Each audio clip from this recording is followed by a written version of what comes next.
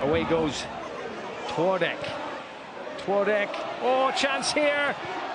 Dunleary helping it on. Twardek, some good footwork from him. All really well played by Kris Twardek. Now, has he got support in the middle? Decent cross as well. They just.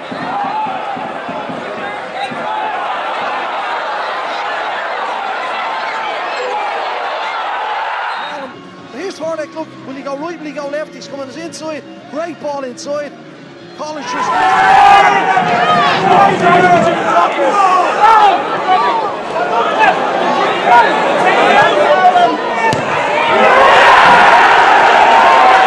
Who led the team out for the final time, having announced his retirement yesterday. But uh, Sligo Rovers looked to spoil the party at Dalymount when they took the lead in the 31st minute. Daryl Fordyce.